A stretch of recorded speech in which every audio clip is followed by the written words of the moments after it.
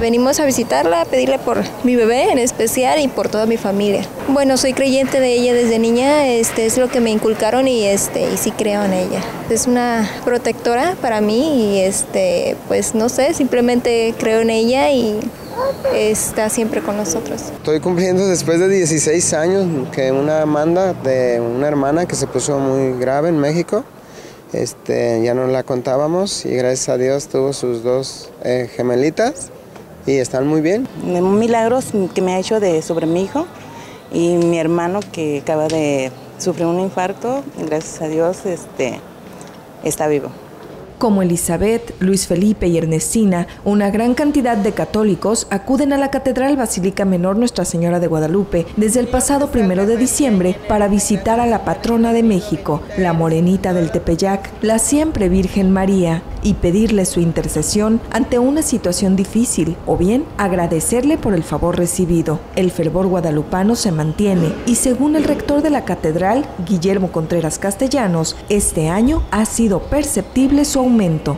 Eh, hemos descubierto en este año una mayor afluencia de, de personas, una asistencia extraordinaria eh, desde el primer día del, del, docenario e incluso desde la primera hora, es decir, desde las 6 de la mañana, el templo lleno, la gente cantando, rezando, alabando a Dios, a nuestra Madre Santísima.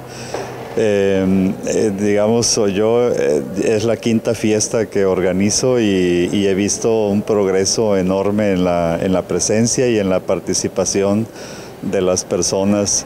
El sacerdote refirió que muestra de ello es la participación de los mismos laicos en acciones de organización y control en la iglesia. Que ven también la necesidad de, de sabernos cómo ayudar, organizar, orientar mejor eh, para que pues eh, todos se lleven un cierto orden porque cuando pues hay una aglomeración de, de gente así como la, la, que tenemos en las fiestas pues hay necesidad de manos que colaboren para orientar por dónde entrar, por dónde salir, a dónde ir al baño, a dónde asistirse si hay alguna necesidad de enfermo o algo.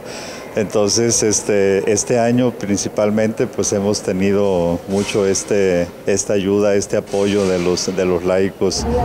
Imperatriz poderosa de los mortales consuelos, ábrenos Virgen en el cielo con una muerte dichosa. El 12 de diciembre es el Día de la Guadalupana. Tras el milagro de la cuarta aparición de la Virgen el 12 de diciembre de 1531, se celebra este día con gran devoción. Por ello, el próximo miércoles es la gran fiesta y en la Catedral Basílica Menor dará inicio con la misa de medianoche para dar paso a las tradicionales mañanitas. Luego, a partir de las 5 de la mañana, se celebrarán misas cada hora hasta las 12 del día, que será la Eucaristía Mayor, presidida por el señor obispo de la diócesis de Colima, Monseñor Marcelino Hernández Rodríguez. Por la tarde, igualmente se oficiarán misas cada hora desde las 5 de la tarde y hasta las 9 de la noche. Para Noticias 12.1, con imágenes de Enrique de la Mora y edición de Álvaro Barragán, Noemí Castor.